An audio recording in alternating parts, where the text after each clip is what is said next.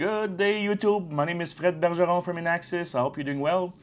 In today's video, I want to show you how to program the door interlock feature of the Protege uh, GX, ICT, sorry, Protege GX system.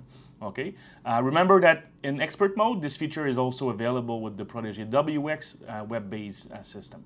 Okay, so it's a very very simple programming. Um, you know, it you'll see it take, will take you two minutes to do.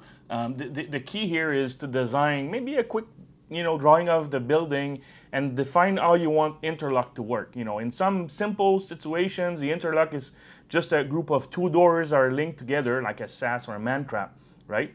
Um, but in some other you know applications like we did with the casino projects you know maybe have a group of three doors you know linked together but then the third one is linked with another set of doors. So you just basically need to know the group of doors to create to create this whole you know uh, scenario of interlocking okay? But the idea of interlock is very simple all right? If you have two doors, and that's basically going to be my scenario here. I have the entry door uh, here and the, the other door here for the employee entrance. So basically, if one door is open, forced open, or unlocked, the reader and the request to exit of the opposite door is canceled, okay? And then vice versa, all right? So basically, for one reader to accept the, the access event or the, you know, the card access request, both doors or basically all the doors in the group must be closed and locked. Okay, so let's have a look at how we can program this. So from the home page in the Protege GX system, all right, the first thing you want to do is to create the door group or the multiple door groups are required, all right? In this example, I have these two doors. So we want to have a group, let's say called interlock, where I have the employee entrance and the main entrance in the group. Okay, so this is main entrance, this is employee entrance. And then you save. The next step is to go to the door property. So I'm going to select the main entrance for now. Or if you want, there's a little trick. You can hit the control key, you know, like that, okay? And then you select the interlock group like this, okay? So now I have my main entrance and my uh, employee entrance part of the same group, all right? And that's it really it, it's how it works okay again you, you, may have a more complex scenario and to me the way i do it all, all the time is i just have a floor plan of the system and then i just basically draw the different groups that are required and you create all of them.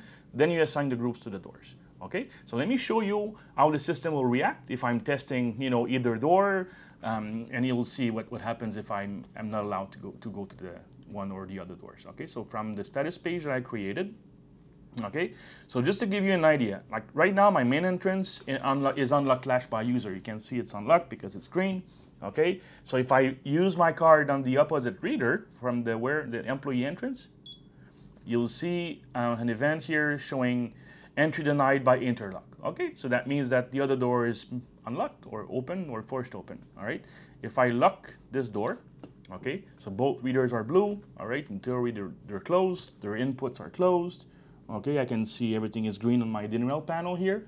Okay, so if I badge here, access granted.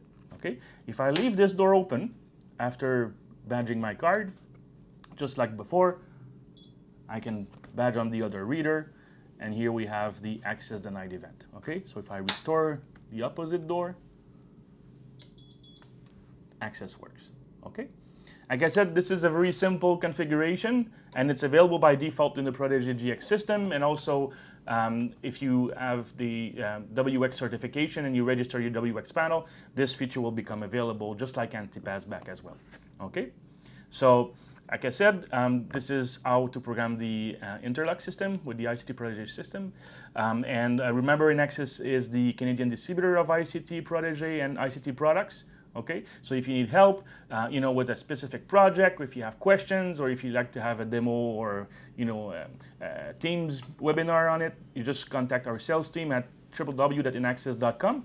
All right, and uh, they will be more than happy to help you. All right. Again, my name is Fred Bergeron. Thanks for watching.